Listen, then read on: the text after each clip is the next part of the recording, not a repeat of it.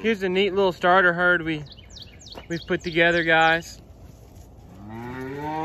Anyone looking for an ag exemption, wanting to get into business with some, you got some really, really neat kind of cows, hardy, not gonna have to worry about them. You got all, all half-blood kind of heifers here with the Brahma bull calf. You're gonna be raising some really good three-quarter blood type Brahma calves, real marketable calves around here, guys.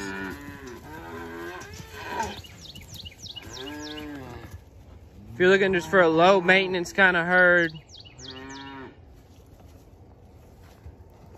it's just a pretty neat set.